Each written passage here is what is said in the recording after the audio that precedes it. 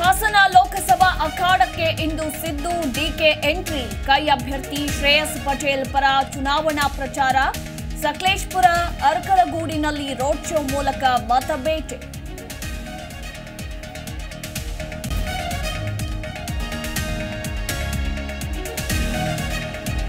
BJP ನಾಯಕರಿಗೆ ಮತ್ತೊಂದು big shock Sanganna Karadi ಬಳಿಕ ಬಿಜೆಪಿಗೆ ಗುಡ್ ಬೈ ಹೇಳಿದ ಗುತ್ತೇದಾರ್. ಇಂದು ಮಾಲಿಕಯ್ಯ ಗುತ್ತೇದಾರ್ ಕಾಂಗ್ರೆಸ್ ಸೇರ್ಪಡೆಗೆ ಕೌಂಟ್ ಡೌನ್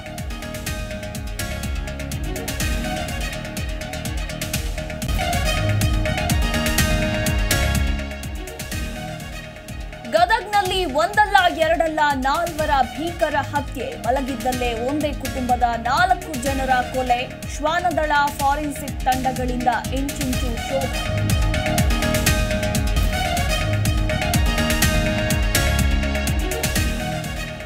ತಮಿಳುನಾಡಿನಲ್ಲಿ ಬಿರುಸಿನಿಂದ ಸಾಗಿದ ಮತದಾನ. ಕರೂರಿನ ಉತ್ತುಪಟ್ಟಿಯಲ್ಲಿ ಅಣ್ಣಾಮಲೈ ಮತದಾನ.